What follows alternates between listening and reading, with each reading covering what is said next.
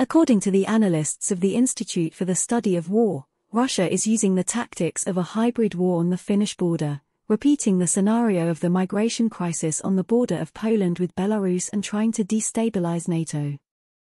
According to ISW, Russia is likely to be using known hybrid warfare tactics to artificially create a migration crisis on the Finnish border. Finnish authorities closed four checkpoints on Finland's southeastern border with Russia on November 18, after the Finnish border guard reported that around 300 asylum seekers, mainly from Iraq, Yemen, had arrived at Finland's border with Russia since September 2023. Somalia and Syria. According to Iltalehti's report of November 20, the Finnish authorities are considering the possibility of closing the entire border with Russia on the night of November 21.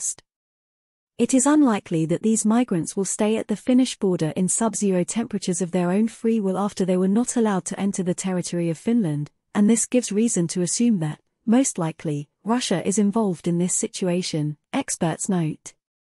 Analysts of the Institute for the Study of War emphasize that the tactics of Russia's hybrid war on the Russian-Finnish border are similar to the creation of a migration crisis by Russia and Belarus on the Polish border in 2021 and are probably aimed at destabilizing NATO.